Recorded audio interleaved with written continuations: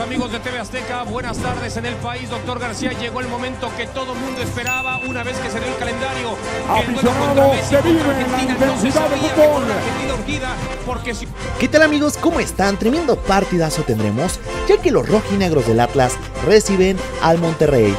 Amigos, si lo que ustedes quieren es ver este partido, les recomiendo que se vayan suscribiendo a nuestro canal y es que como sabemos, en algunas ciudades los partidos de la Liga MX no son transmitidos, así que crack, si tú no te lo quieres perder, suscríbete ahora mismo a nuestro canal para que no te pierdas de la mejor información y de la mejor previa de este partidazo. También, ¿por qué no? Comenten aquí abajo en la caja de los comentarios cuál creen que sea el marcador de este partidazo y también comenten a qué equipo apoyan.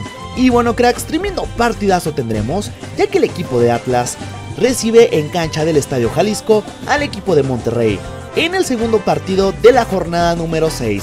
Así es amigos, por un lado tenemos al equipo de Atlas, los rojinegros, los locales, como recordaremos, vienen de visitar al equipo de Pumas, en cancha del Estadio Olímpico Universitario.